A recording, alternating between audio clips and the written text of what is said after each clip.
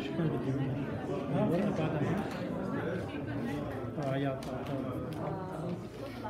You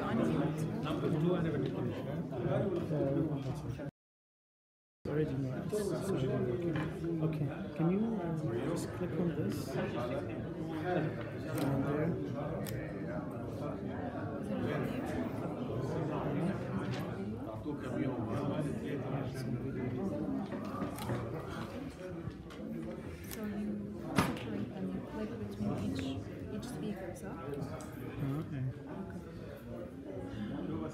I'm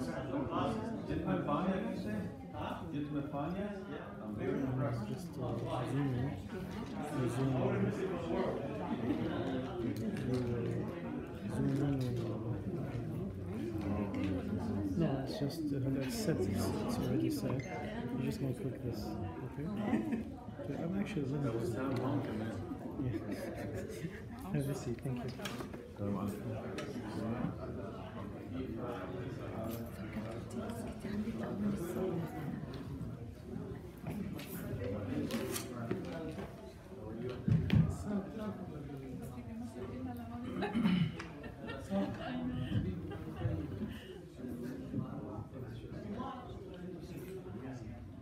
ويكون أن يأتي.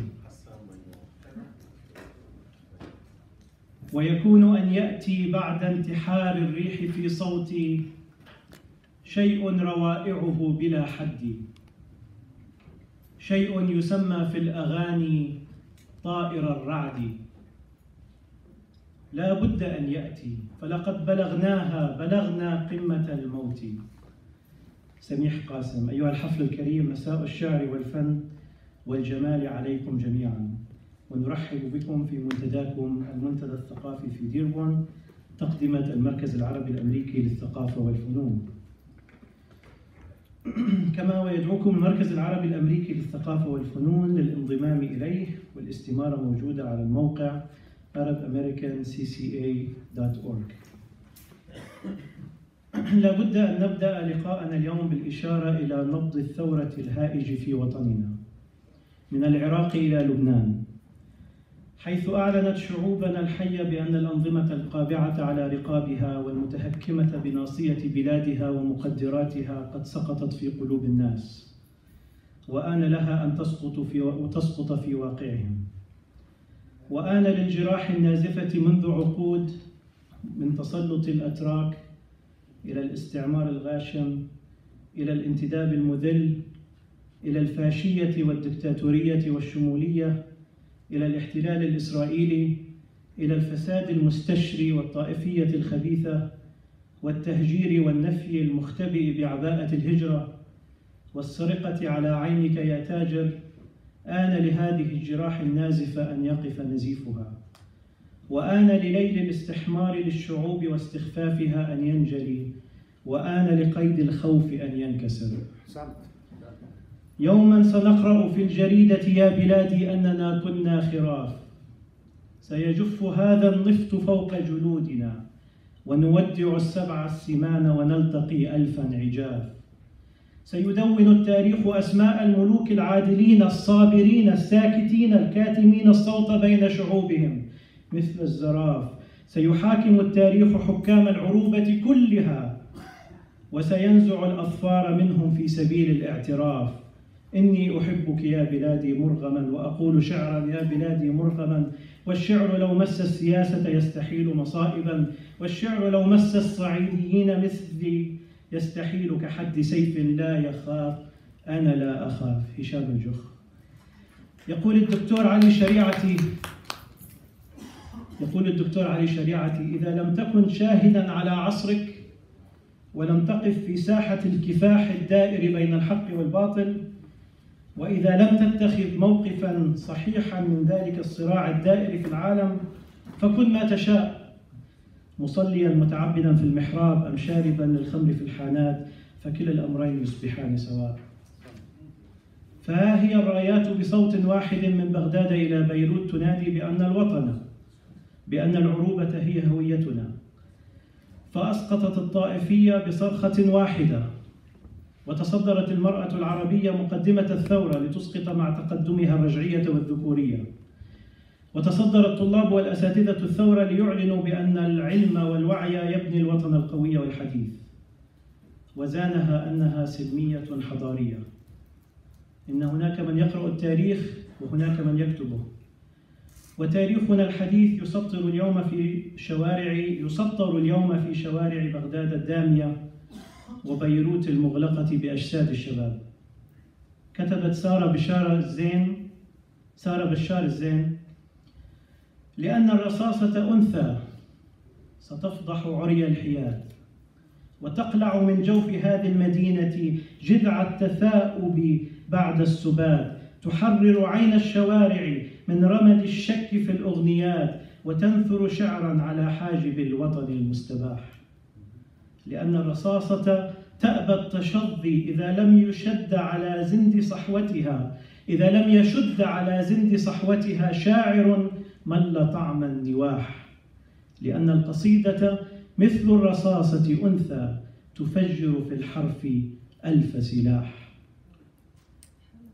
نترك تلك الساحات الخفاقة بالأمل لنطير بكم إلى ذكريات الشعر في جنوب لبنان وجبل عامل كما يقول الشاعر عمر الفرة جنوبيون يعرفهم تراب الأرض ملح الأرض عطر منابع الريحان جنوبيون يعرفهم سناء البرق غيث المزن سحر شقائق النعمان نجوم الليل تعرفهم وشمس الصبح تعرفهم وبوح الماء للغدران. وقد عرفوا طيور الحب فتك السيف شعر الفرس والإغريق والفينيق واليونان. لهم علم ومعرفة بمن سادوا ومن بادوا وموسيقى بحور الشعر. وكيف يحرر الإنسان؟ مع الناشط السياسي والاجتماعي والكاتب الأستاذ عدنان بيضون الذي ولد في بنت جبير عام 1956 وتعلم في مدارسها ودخل دار المعلمين والمعلمات في النبطية عام 1973 وتخرج منها متخصصا بتدريس اللغة الفرنسية عام 1976 ثم درس الأدب الفرنسي في الجامعة اللبنانية قبل هجرته. عمل في الصحافة الاغترابية في أمريكا لمدة 20 عاما إلى جانب عمله في مجال الخدمات الاجتماعية والإنسانية. يحدثنا الليلة عن شعراء عامليون في الذاكرة فليتقدم مشكورا.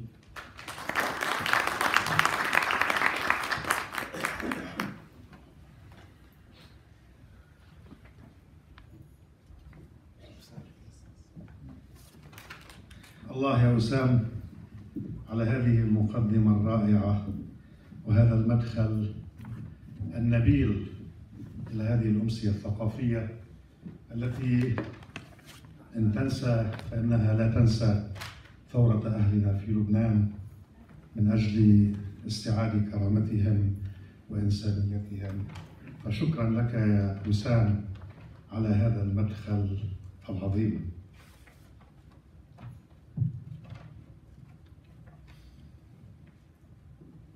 طاب مساءكم أيها الإخوة والأخوات وتحية متجددة إلى المركز العربي للثقافة والفنون وإلى المنتدى الثقافي في ديربورن بأشخاص القائمين على أنشطتهما المشتركة. والتحية لكم أنتم يا من ترفضون هذه المبادرة الشهرية بعناية حضوركم واهتمامكم.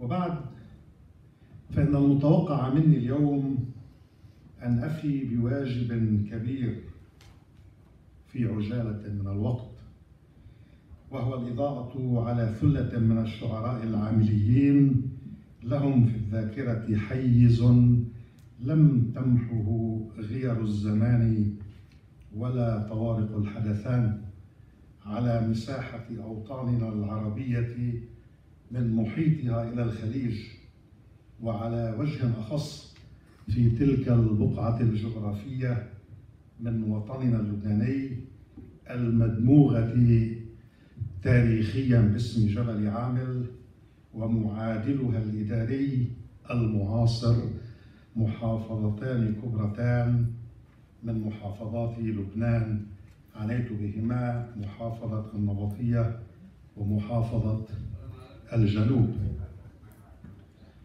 هذا الجبل جبل عامل الذي جرى عليه القول المأثور إن تحت كل حجر فيه قصيدة. إن تحت كل حجر فيه قصيدة شعر. ولا تخلو قرية من قراه. أو دسكرة من دساكره من شاعر أو أكثر. ففي عجالة هذه المحاضرة آه، سوف أحاول تسليط الضوء كما أسلفت على ثلة من الشعراء مع تركيز خاص على شاعر فذ وموهوب. لم يعطى الكثير من حقه وغيبه الموت في ريعان الشباب لكن رصيده من الشعر فاض عن عمره أيما فيض.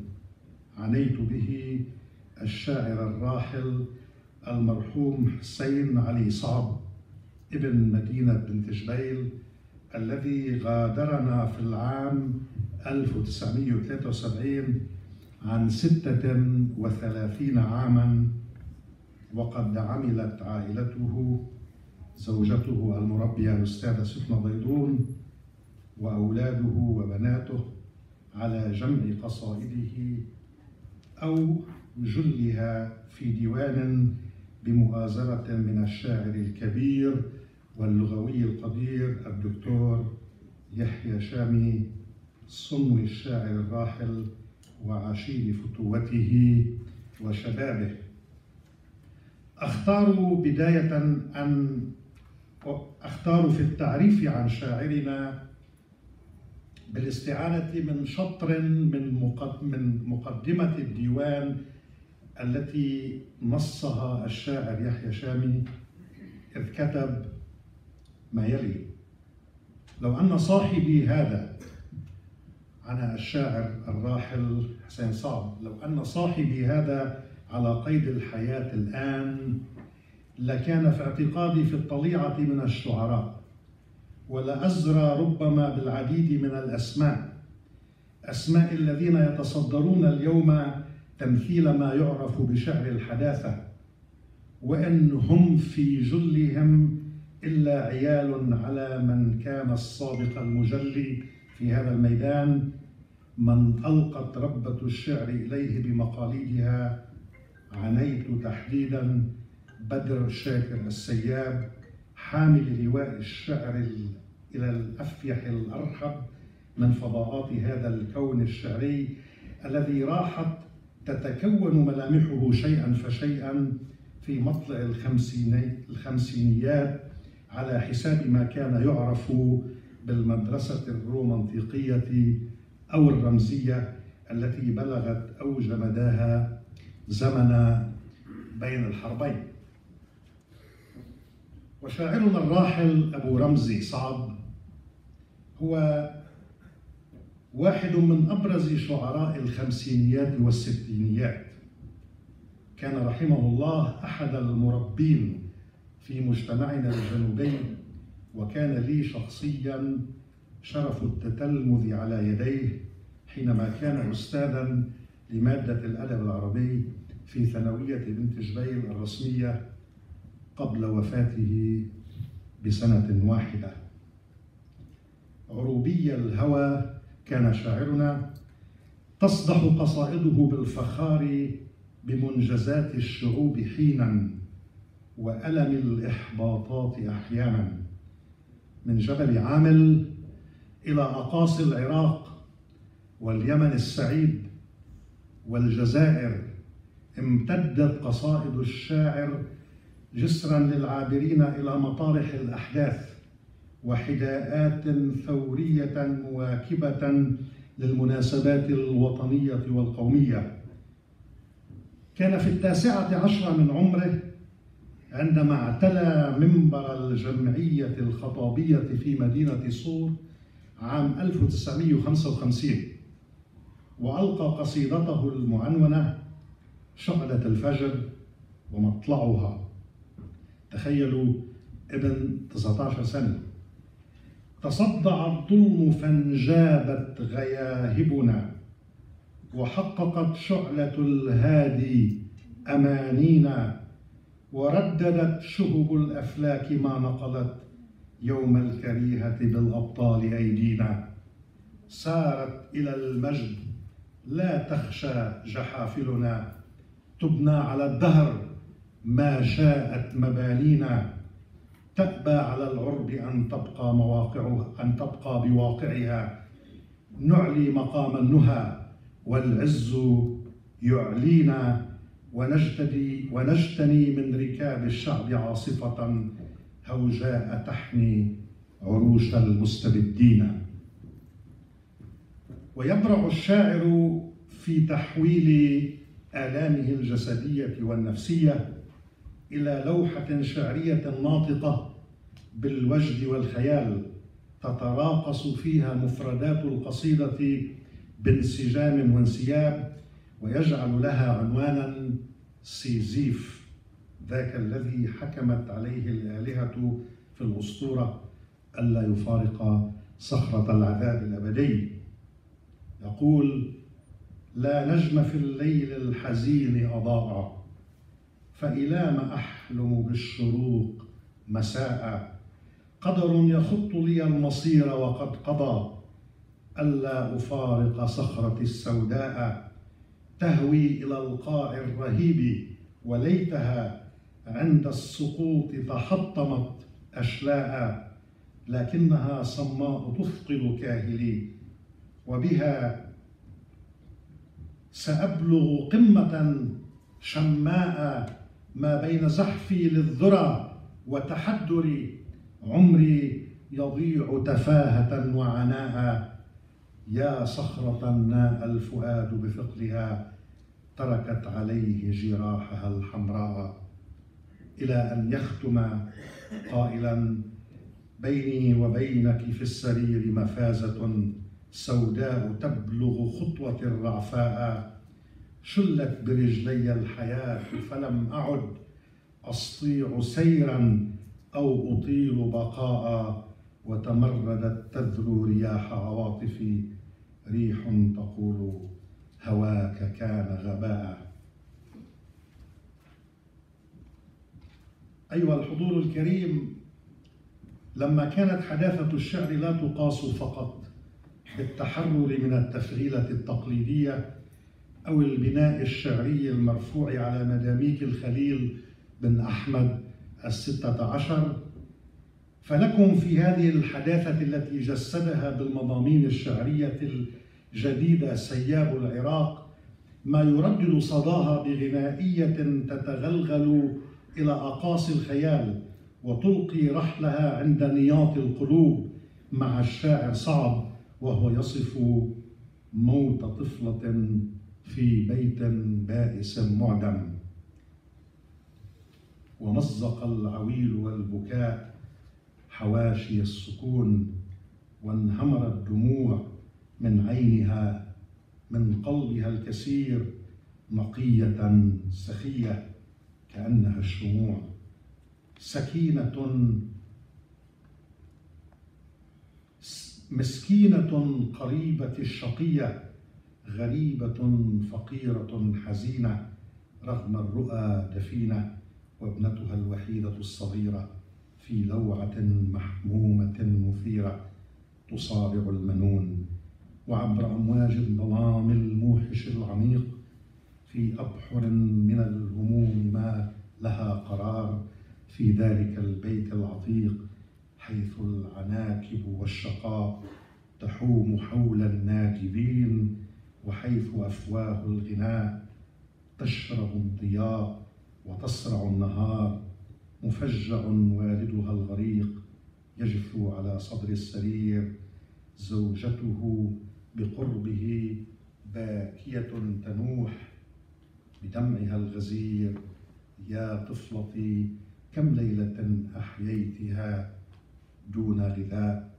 يا إلهي إننا عري جياع ليتنا كنا نكون في بلاد تسكب الخير العميم غرباء شرفاء في mتاهات الليالي والضياع نحصد الأشواك في عمق الصحاري. ونقيم في ظلام الموت في كهف الهوان نشتهي قطعة الخبز وأطباق الطعام. عامرا بالثور عامرا بالثورة منشدا لأحرار العرب أناشيد المجد من بغداد إلى الجزائر ومن الموصل إلى صنعاء يخاطب الجزائر وشعبها وأرضها إبان نضالهم ضد الاحتلال الفرنسي. في بلاد تشرب المجد وتزري بالمقابر عاصف يغلي وبركان من الويلات ثائر هي للأجيال نبراس وللدنيا منابر. هي صوت الحق إن صاح بأعماق الدياجر. يا أيها الطاغي ونور الفجر تبديه النواظر فاذكر إذا عصف الفناء بأنها أرض الجزائر. أرض ترويها الدماء ترود ساحتها الجماجم فالموت إعصار يدور بكل طاغية وآثم. وطن العروبة والسموم تفيض من شدق الأراقم جرح على العادي يثور مدمدما كالسيل عارم. ويل لزارعة الشرور ويل لعاقبة المظالم.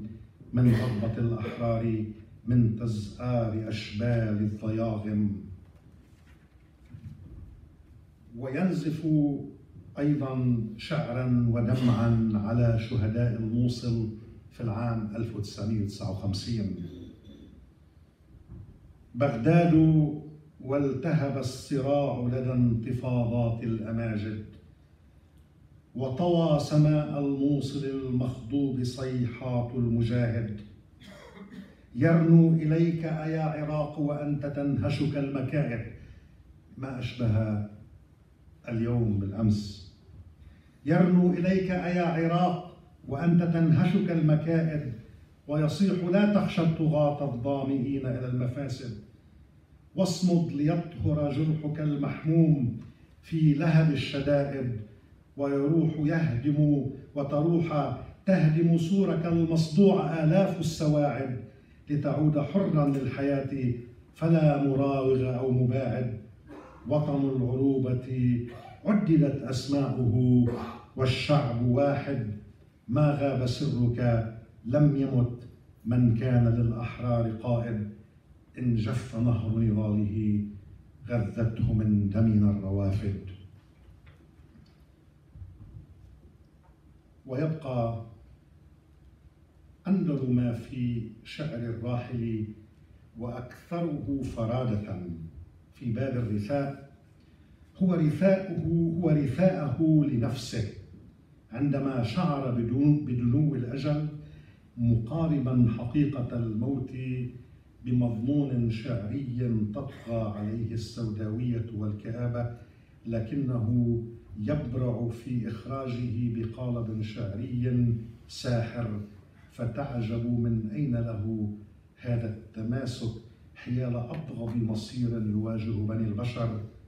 مطلقا في تعلته الأسئلة الكبيرة ومجيبا عليها بمنطق عقلي حاسم تترى فيه بنات الأفكار مزينة بأبهى حلل البلاغة.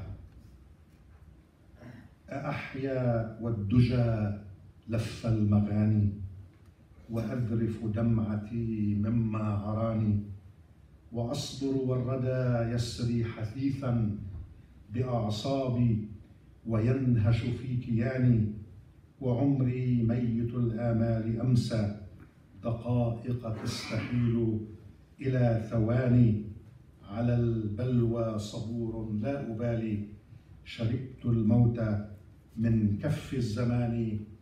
كم سابت على صدر المدمى. ذوات الدل مطرعة الدنان. فكم من وردة ذبلت وماتت. ونجم آفل قبل الأوان ونفسي مثل نفسي في حشاها. رياح الحزن رافعة السنان رياح الحزن راعفة السنان. أناخ الليل وانطفأت شموعي. ودفء القبر في لهف دعاني. هي الدنيا ومن أضحى عليها. سحاب عابر الآفاق فاني. فصبي من دموعك واغسليني وضمي جبهتي فالموت داني ولا تأسي على فقدي فإني سأحيا كالأزاهر في الجنان. ولولا حب أطفال صغار لما أشفقت من ريب الزمان. ولا أطرقت ما بين البرايا كأني شارب كأس الهوان.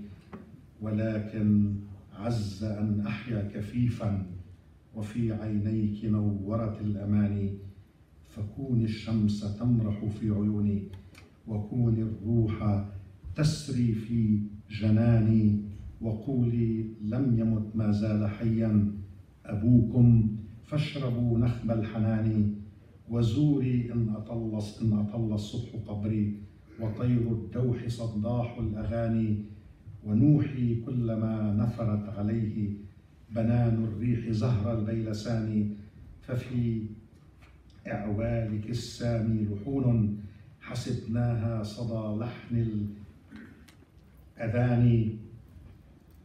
فقمنا ننفض الأكفان عنا ونسعى للعناق وللتداني.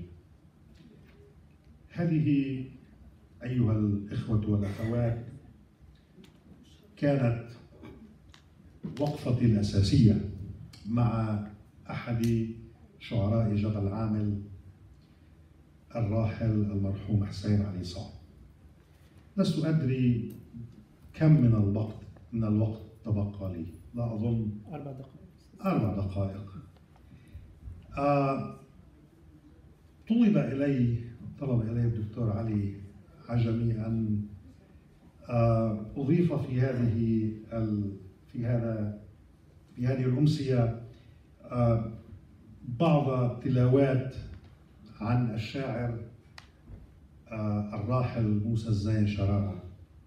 فيما تبقى من الوقت سأحاول أن أختار شيئا أو بعضا من قصائد بعضا من الأبيات من قصائد للشاعر أبي عدنان موسى الزين شرارة الذي تعرفونه كلكم.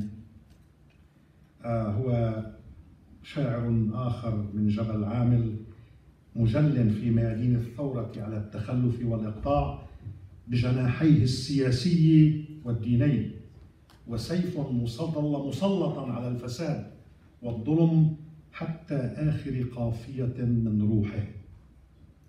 موسى الزين شرارة أبو عدنان الذي امتلك نواصي الشعر من كل زواياها ثائرا ناقدا ساخرا ومتهكما لكنه هادف ابدا لم تته سهام قوافيه مرة عن الاستقرار في كبد الحقيقة.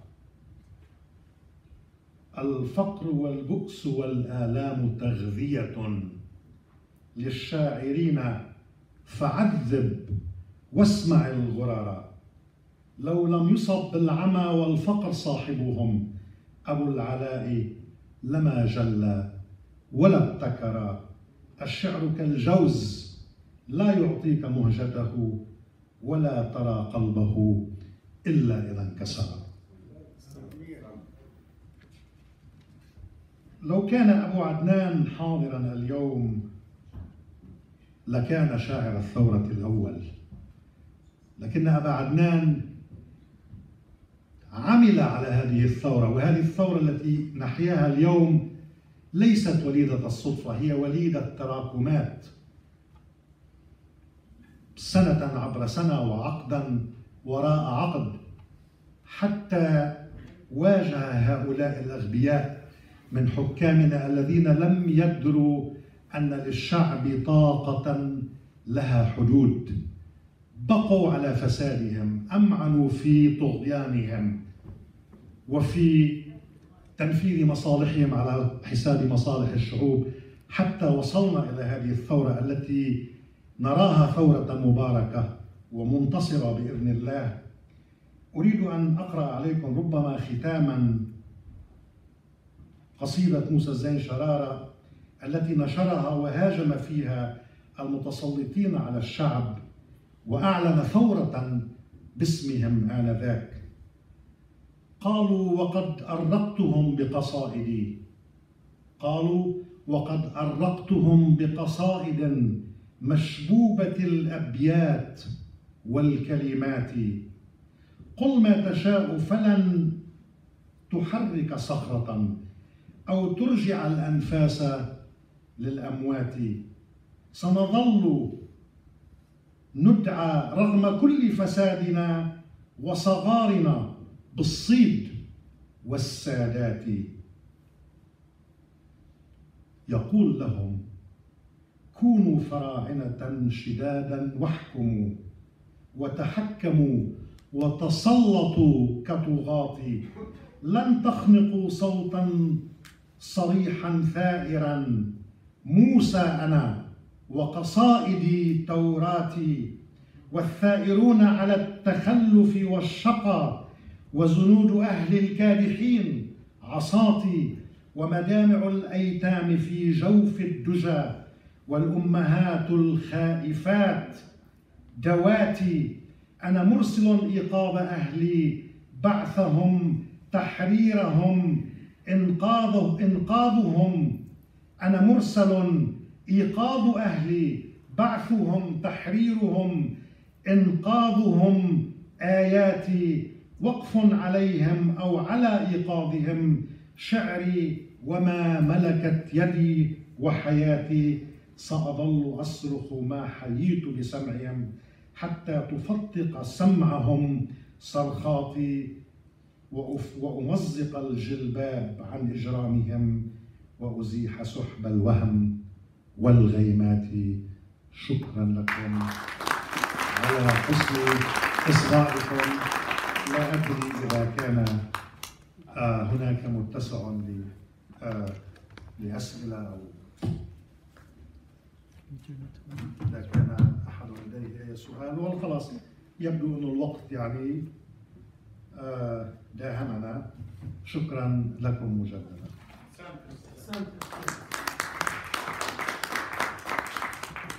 شكرا أستاذ عدنان ونكمل الحوار بعد الانتهاء المنتدى. الدكتور حسن بزي دكتور في علم التاريخ وأستاذ في الجامعة اللبنانية باحث ميداني في تدريس اللغة العربية وفي خصائص المجتمع العربي الأمريكي. أصدر منهجا دراسيا لتدريس اللغة العربية في المفترض يقرب النص المدروس من واقع الطفل المغترب ويبسطه. كما وقدم أبحاث حول الجالية العربية الأمريكية بطلب من وزارة الخارجية الأمريكية الدكتور حسن نشتاق إلى مشاركته لا لأن لطلته طرافة وخفة دم معروفين فحسب بل أيضا لأنه يقدم المعلومة بشكل سهل الهضم يسير التناول يقرأ لنا اليوم من فيروزيات الشعر الغنائي. فليتقدم مشكورا.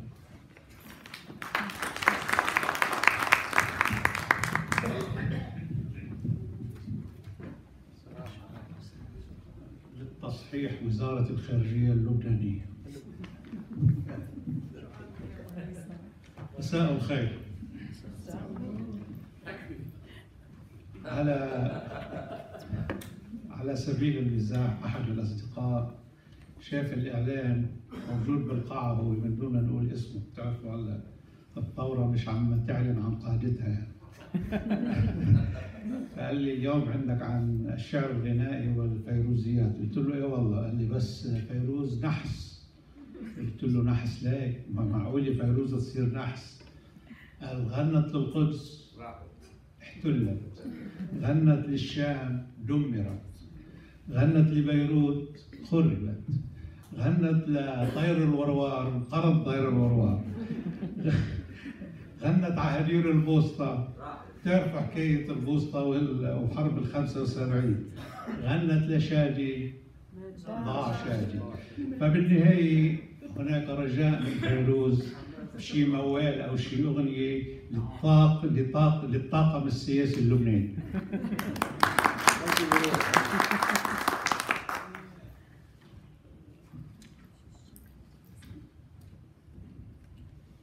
مركب صعب أن تختار من اللغة أجملها ومن الشعر أعتبه أو حيث يتهم من يختار أحيانا بالذاتية والمستوى العالي. فكان خياري بالنسبة إلى ذوقي المتواضع اللجوء إلى عالم الفيروزيات. والسيدة فيروز التي غنت لكبار الشعراء الأخوان رحباني سعيد عقل نزار قباني أحمد شوقي الأخطر الصغير وغيرهم وغيرهم من كبار الشعراء. أما في قراءة اليوم اخترت باقة ملونة من الشعر نبدأ بها بأبيات لمحمود درويش تتماهى مع الثورة المباركة في لبنان ومع الحراك في سائر الساحات العربية. وهناك ثلاث قصائد غنتها فيروز بصوتها قصيدتان لشاعر مغمور وقصيدة للأخطر الصغير.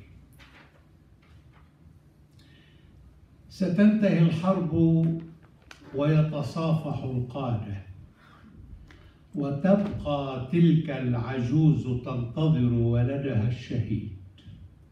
وتلك الفتاة تنتظر زوجها الحبيب.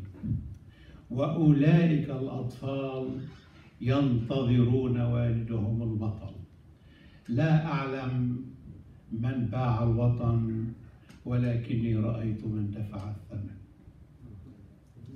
أما أنا فسأدخل في شجر التوت حيث تحولني دودة القز خيط حرير فأدخل في إبرة امرأة من نساء الأساطير. ثم أطير كشال مع الريح. أحببتك مرغما لأنك ليس لأنك الأجمل. بل لأنك الأعمق فعاشق الجمال في العادة أحمق. بلد يولد من, قبر بلد ولصوص يعبدون الله. كي يعبدهم شعب ملوك للأبد وعبيد للأبد. كل نهر كل نهر وله نبع ومجرى وحياة. كل أرض ولها ميلادها كل فجر وله موعد ثائر. محمود درويش. شاعر غنت له فيروز. تلقى علومه الدينية في النجف وانتسب إلى الرابطة الأدبية فيها. رغم دراساته الدينية لم يتنكر لشاعريته حيث ركز على النشيد الديني والوطني وبعض الاجتماعي منها واحتفظ بالغزليات لنفسه. إلى أن وشى به أحد أصدقائه إلى عاصر الرحبيلي الذي بهر بغزليات شاعرنا وبما اكتشفه من قصائد في جعبة طالب الحوزة الدينية وتم اختيار مجموعة من شعره تردد شاعرنا بالتنازل عنها خوفا على مكانته وكأنه مرتكب له شيء جريمة كبيرة مكانته وبيئته المحافظة وفي النهاية قبل شاعرنا الاتفاق بأن تغنى قصائده بشرط عدم ذكر اسمه. شاعرنا هو الشيخ علي بدر الدين من قرية حاروف قضاء النبطية.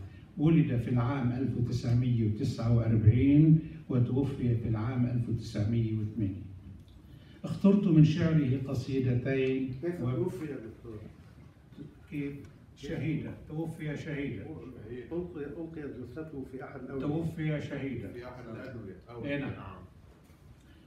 إذا سأختار من قصائده قصيدتين بما يتسع وقد غنتهما السيدة فيروز القصيدة الأولى.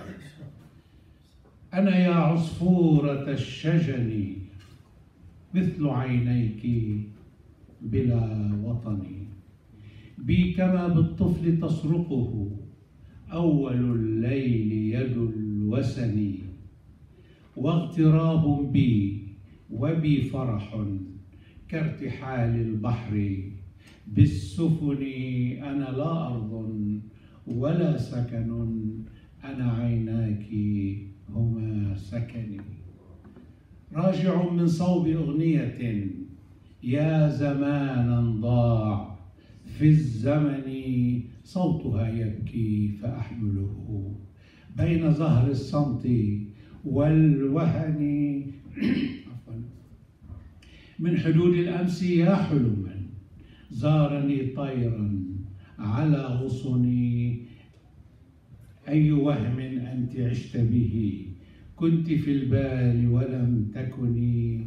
أنا يا عصفورة الشجن أنا عينيك هما سكن.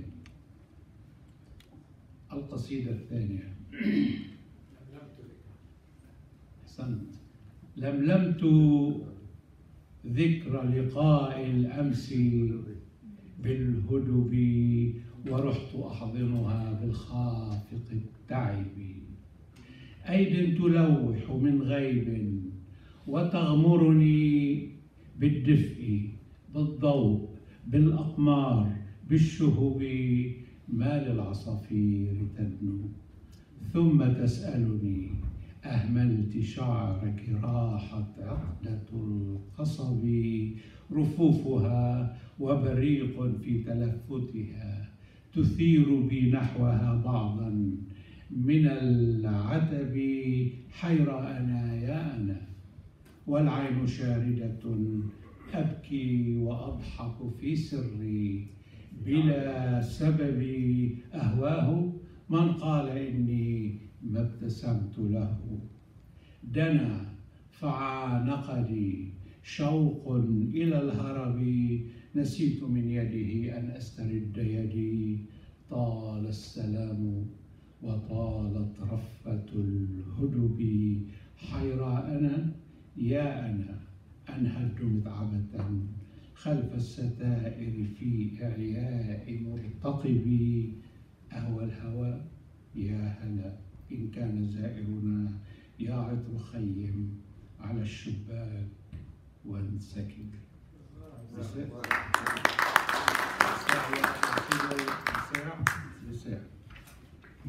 طبعا هي قصيدة بتعرفوها بس بحبها. ما بعرف ذوقي كان للأخطر الصغير بشارة الخور يبكي ويضحك. لا حزنا ولا فرحا كعاشق خط سطرا في الهوى ومحى. من بسمة النجم همس في قصائده ومن مخالسة الضبي الذي سنح قلب تمرس باللذات وهو فتى. كبرعم لمسته الريح فانفتح.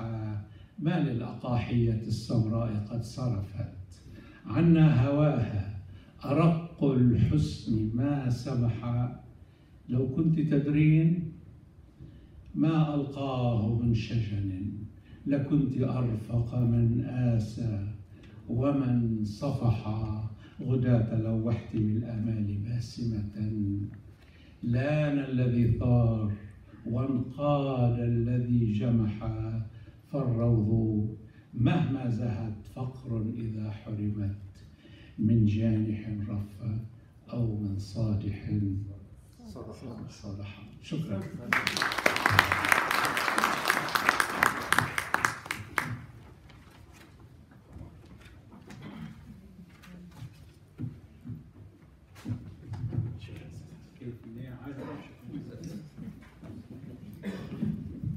مع المشاركات الشعرية أقدم لكم أولا فارس المنتدى الثقافي الشاعر علي السندي وأرد على بيت كتبه على الفيسبوك يقول فيه وين السيد علي؟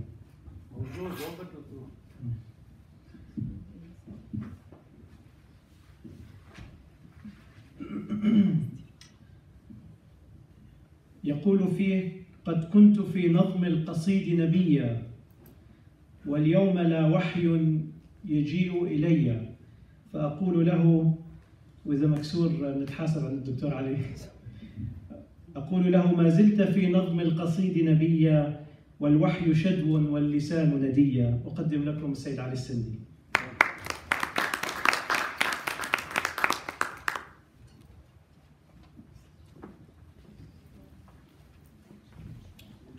سلام المحبة عليكم. سلام الشعر تحية عراقية شعرية أزفها لكم لكن قبلها اسمحوا لي أن نقف دقيقة صمت إجلال الأرواح شهداء العراق الأبطال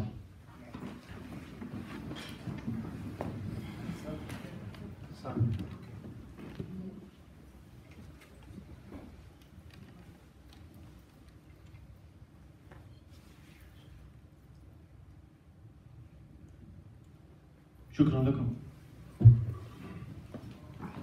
أحييكم جميعا أيها الأحبة الكرام.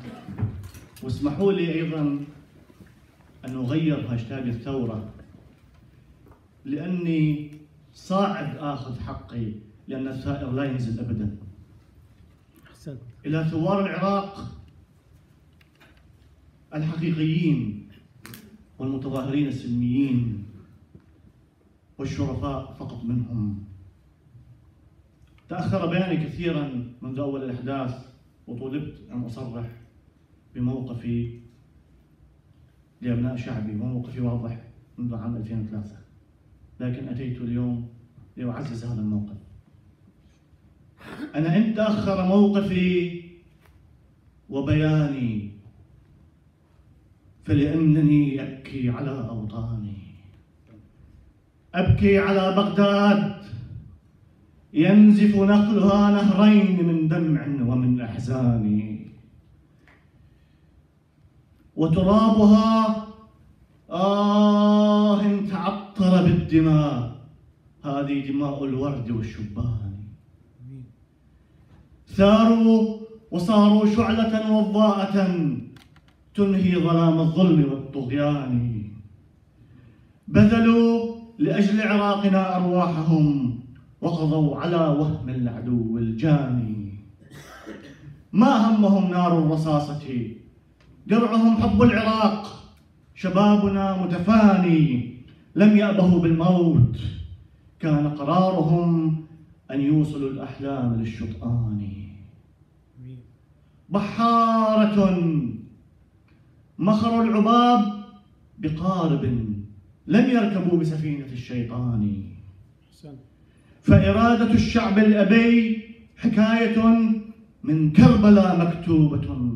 بالقاني ومن الحسين تعلموا نهج الإباء فلذاك صاروا أشجع الشجعان.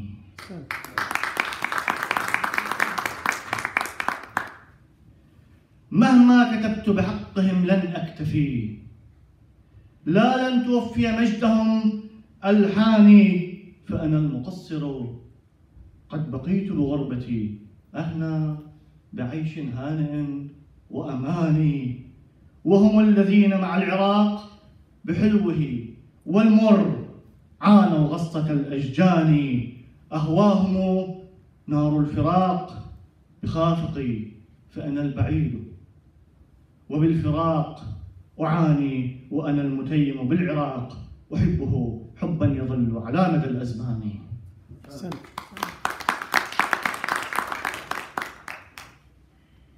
وأنهي بقصيدة بعنوان وداع نغير المود شوي. ستأتيني الحبيبة ترتجيني. مشان وسام يعرف العنوان عنوانها وداع. ستأتيني الحبيبة ترتجيني. بأن أبقى وأن يبقى حنيني.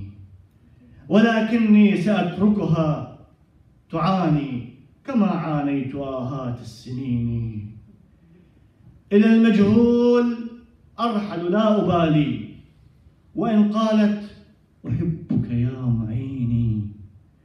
وإن سالت دموع العين حرا سأتركها ببحر من شجوني وأجعلها تموت بذكرياتي. فلا أمل ولا حب بدوني. فكم سكرت؟ اسمع. فكم سكرت بخمر من شفاه وكم رقصت بساعات المجون؟ وكم كنا بليل الحب نخفو على كتف الصبابة والجنون؟ وقد طعنت بسيف الغدر قلبي ليغدو قاسيا من بعد ليني وقد خانت فؤادي ذات بعد ولم تذكر بأني قلت صوني. فحان الوقت كي أنهي عذابي وأنهي اليوم ويلات الأنين. وحان الوقت كي أمضي ببحري ويقطع شك أشرعتي يقيني. ويقطع شك أشرعتي يقيني. والسلام عليكم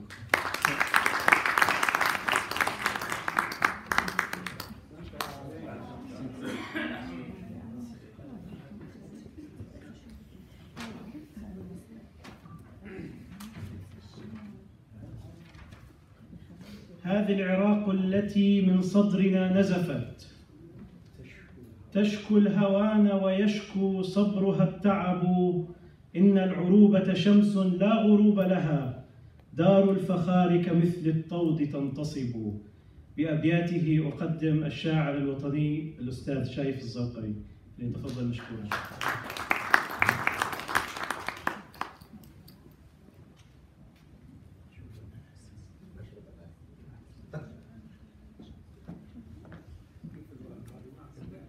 السلام عليكم عليكم السلام الأخوة والأخوات الحاضرون جميعا أسعدتم بالخير مساء في هذه الأمسية الشاعرية والأجواء المفعمة بالأدب والفن الصادق الذي ننقش ونحفر من خلاله نبض مشاعرنا مع جنون الحرف وثورة الكلمات لنرسم لوحة إبداعية تنطلق من القلب إلى القلب. اسمحوا لي أن ألقي على مسامعكم شيء من الشعر. ماذا أقول وقد لاحت على خلدي؟ كأنها من لحون الطائر الغرد. ماذا أقول؟ وقد أحيت بطلعتها.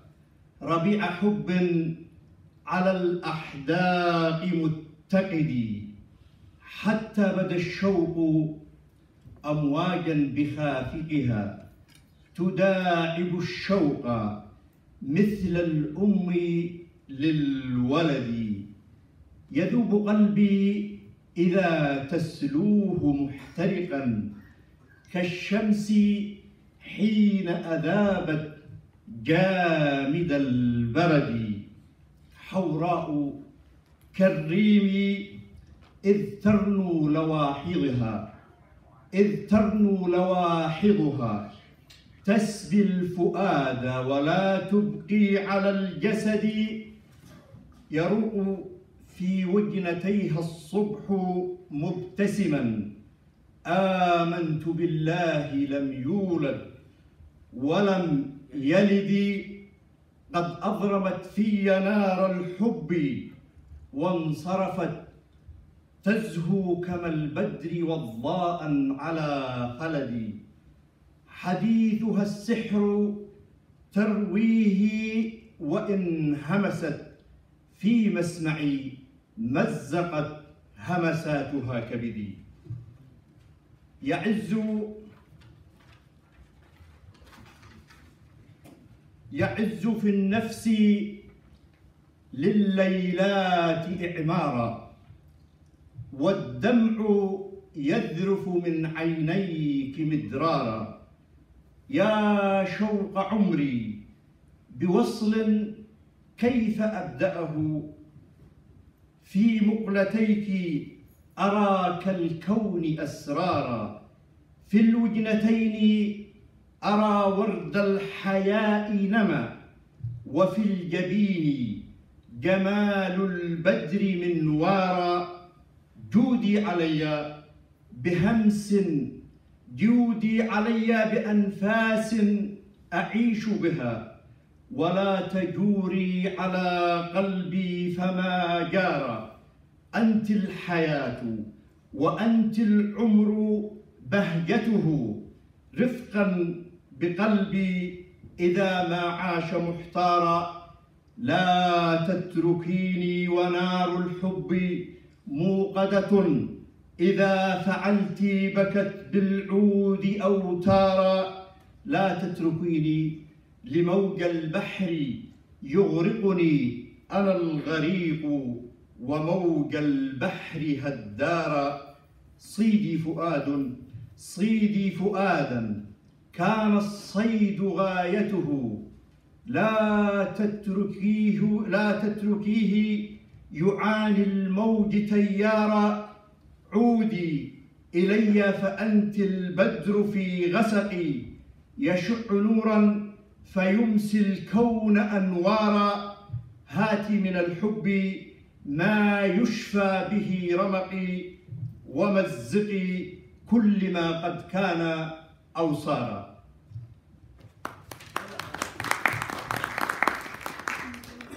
قصيدة المشاركة أين التجلي؟ أين التجلي؟ سئمت العيش يا وطني. وأي عيش وكف الويل تدميه أرنو لأهلي فأبكي حسرتي ندما أنعي زمانا يسيل السخط من فيه.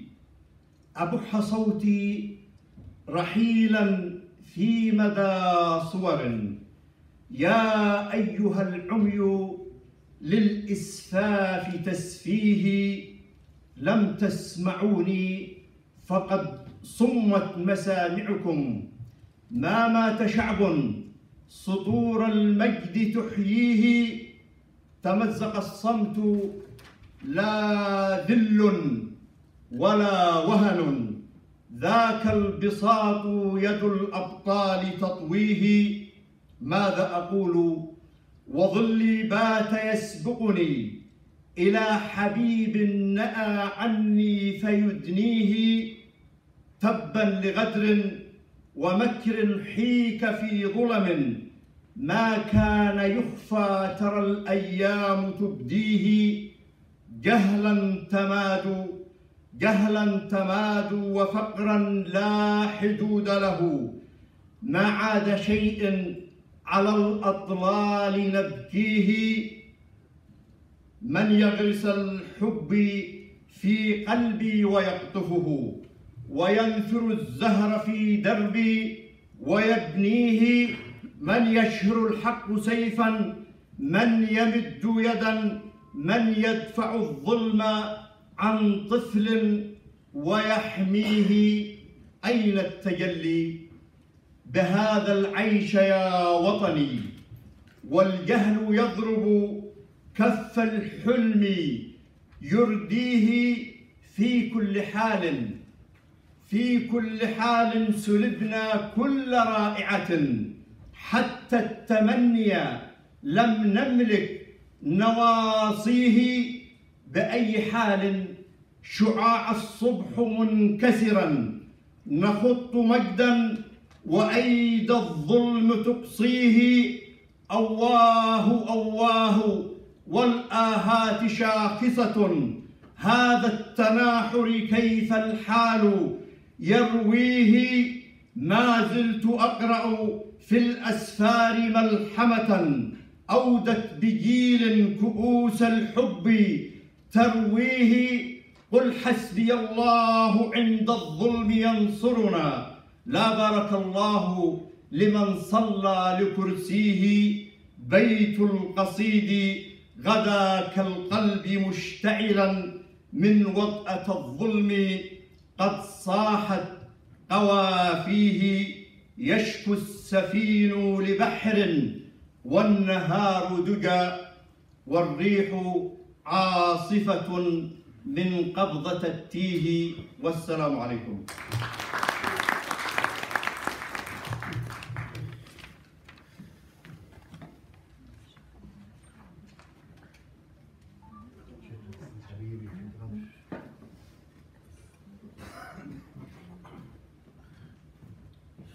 المشاركة الشعرية الأخيرة قبل الفقرة الفنية. ثوبك غيم أبيض وجسد وج- وجسدك أفق. لا سماء أنت السماء. برهافة بهذه الرهافة يعبر الشاعر علي جواد عن ما يحترق في خاطره كاحتراق الشمعة على شرفة عاملية عند السمر. الشاعر الإنساني المتأمل الشاعر علي جواد فليتفضل مشكورا.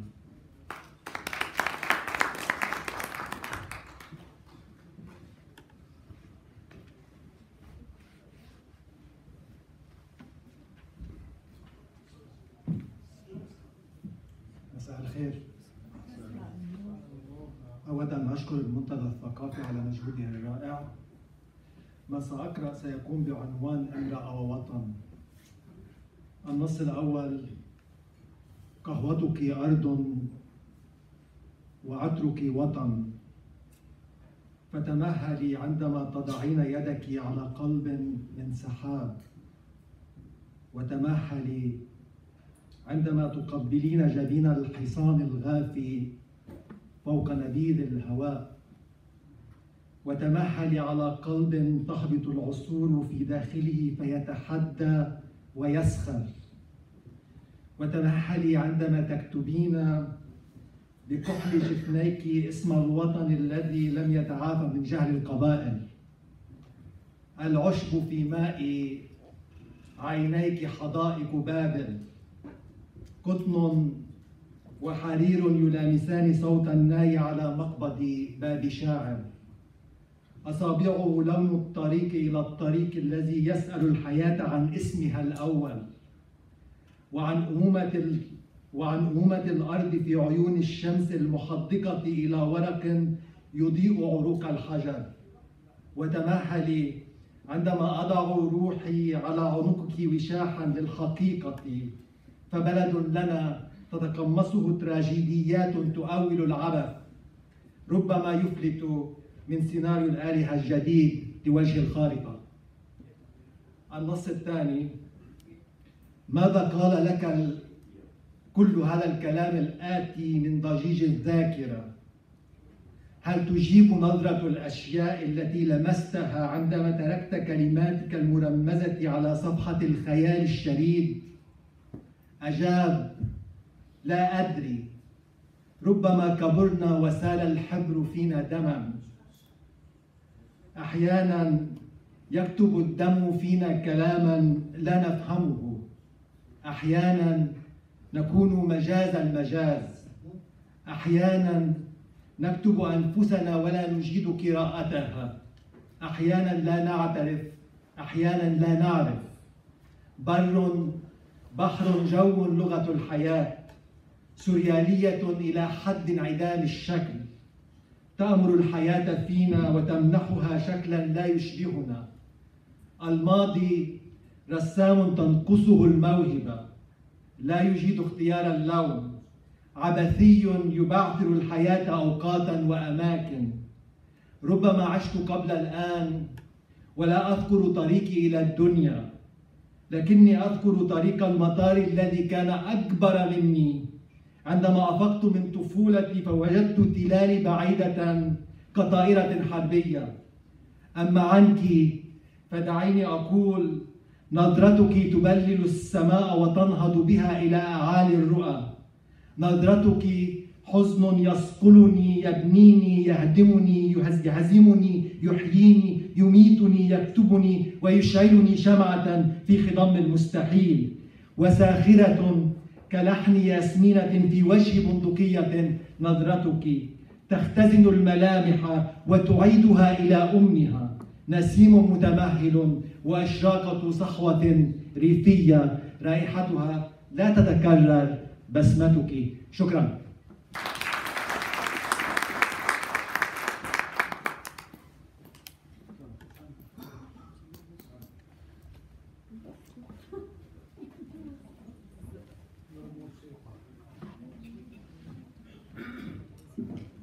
والآن مع الفقرة الفنية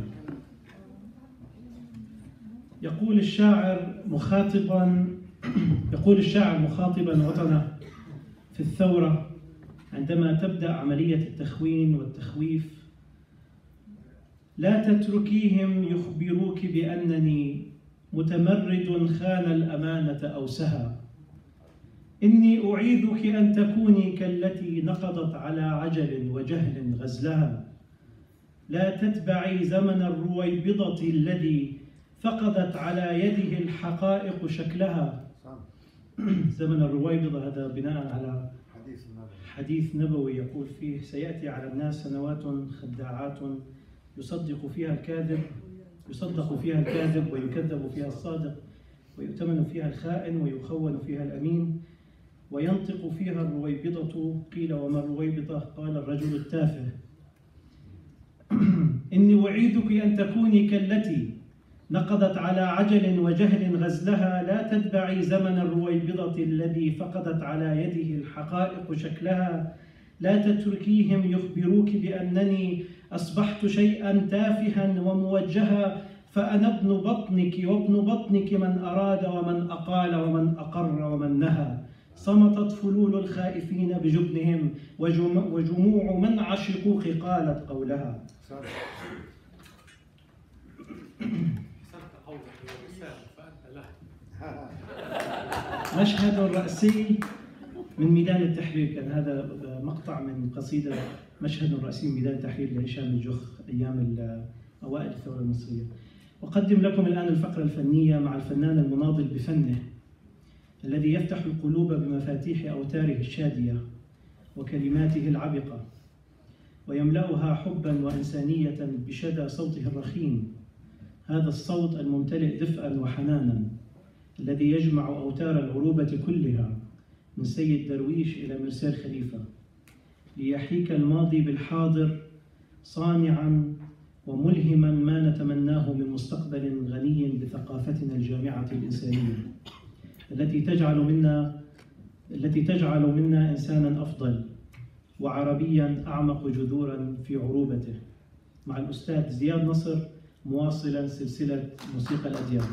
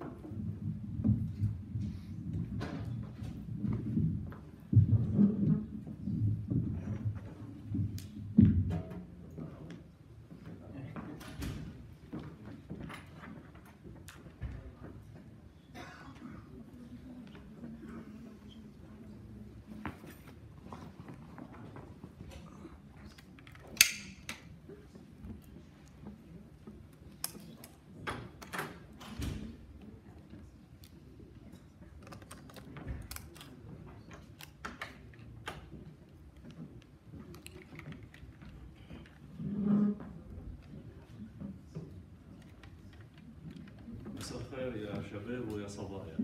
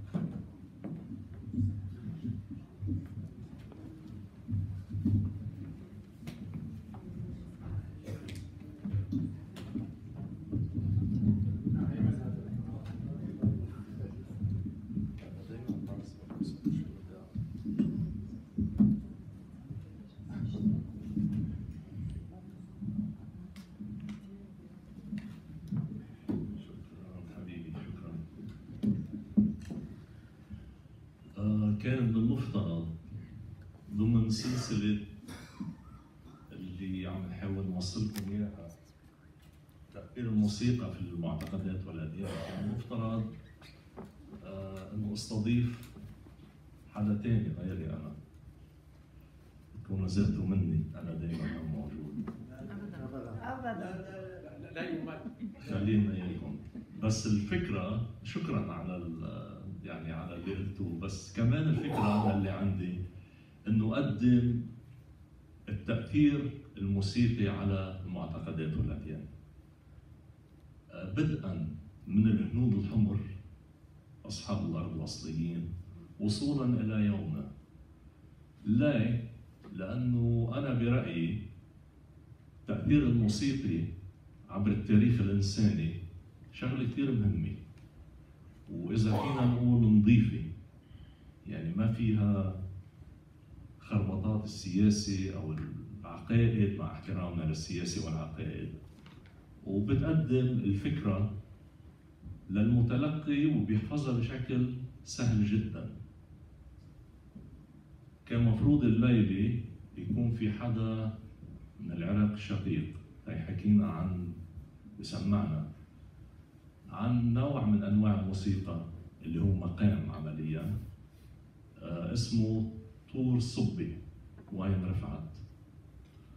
آه الصبي هو جزء من الموسيقى اللي من أوائل أنواع الموسيقى اللي وجدت بالعراق اللي هن للصابئه الصابئة هن من الأوائل اللي رنموا وأوجدوا آه، أنغام أو ترانيم. هيدي هيدي الموسيقى من من الأنواع الصعبة جدا إنه تتغنى لأن بدها حنجرة خاصة وبدها إلقاء خاص وبدها البحة الإقليمية العراقية. بتعرفوا كل كل بلد من البلدان العر- العربية بيتميز ب- بطريقة بال- بالألسنية أو بالحمل الصوتيه آه، حابب بس شوي صغيرة أحكي عنها. هي عمليا اللي ورثوها بعدين الناس اللي إجوا قدموا الموسيقى العراقية إن كان بالفولكلور الفن الشعبي أو إن كان بالشغلات الدينية. يعني ما نسمع من آه، خلينا نقول الموسيقى الآتية مثلا ناخذ مثلا عاشوراء. فيها نوع من التأثير الصبي. اللي هو الصابئة واللي هو عمليا مقام عربي. حزين ولكن مقام عربي قديم. رح سمعكم شوي صغيرة منه بس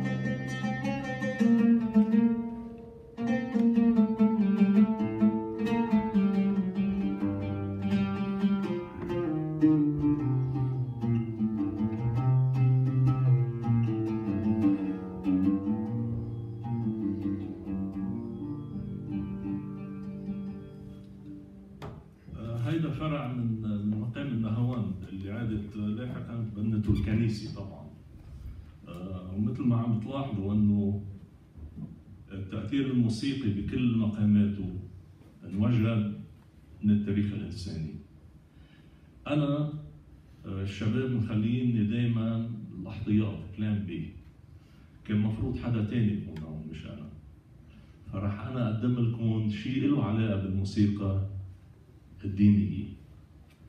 آه، اللي تقدمت من ناس يعني غير دينيين. هي مش مش نشيد مش بالضرورة تكون نشيد أو ترانيم. ومن بنرجع لفيروز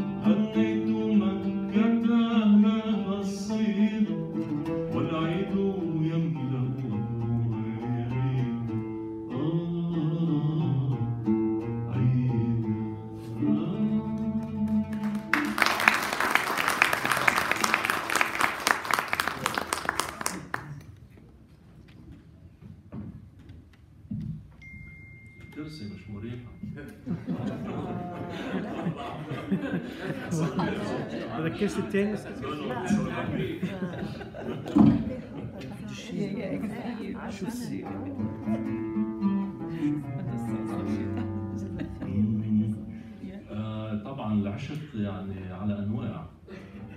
آه، يمكن أعلى أنواعه هي العشق الإلهي بس كمان العشق الإنساني لا بأس فيه.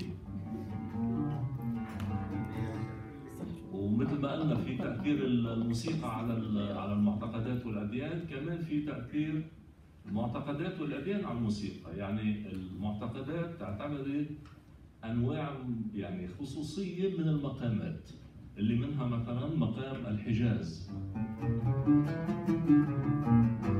الأردن الشرقية كثير متعودة عليها مقام الحجاز. فرح نقي لكم شيء بالعشق الإنساني على مقام الحجاز بنكون بعضنا بنفس تقريبا بنفس الجو.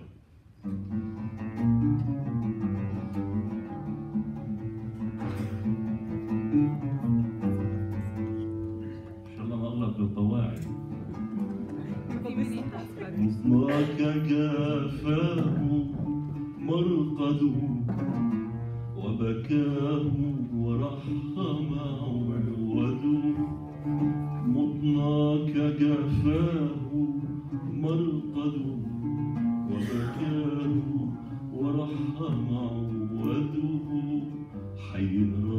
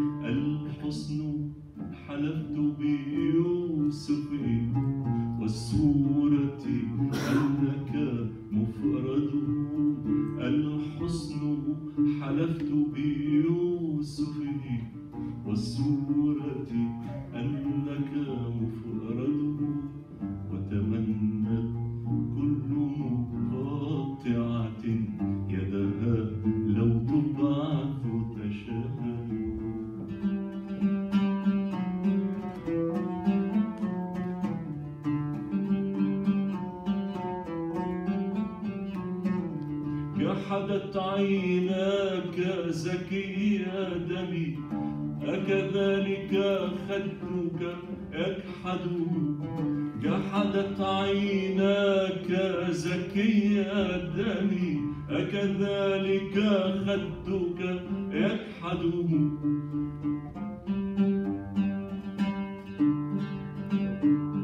جحدت عيناك زكي دمي أكذلك خدك يكحل. بيني في الحب وبينك ما لا يقدر واش يفسده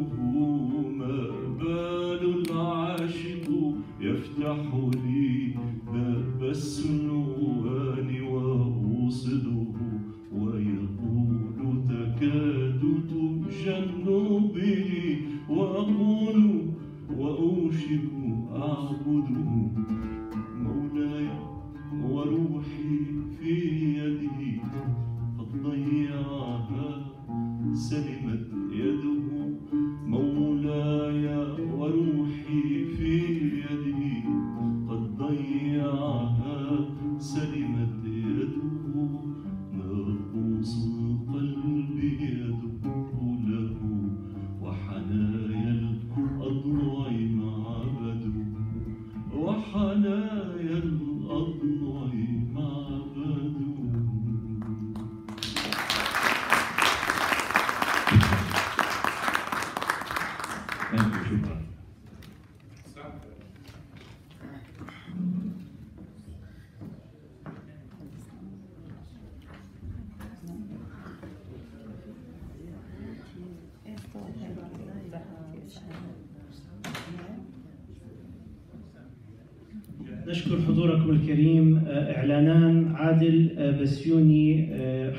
توقيع كتاب الجالية العربية في ميشيغان آه، يوم السبت الموافق للسادس عشر آه، من الساعة الرابعة إلى السادسة. أحد يعرف المكان؟